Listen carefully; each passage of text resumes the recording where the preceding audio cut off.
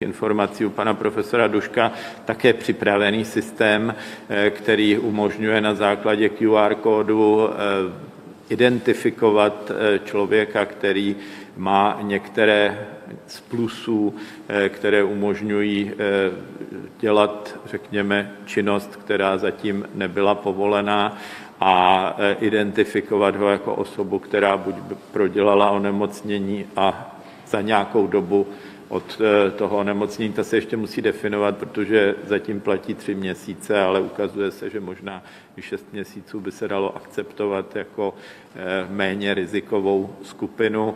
Dál potom očkování a nebo jeden z testů, které prodělal. A zase ta aplikace vlastně umožňuje hlídat ty časy a tu platnost vlastně takového certifikátu. Takže to máme připraveno, jenom je to potřeba ještě dodefinovat, jakým způsobem se s tím bude pracovat, ale ta aplikace připravena na použití je.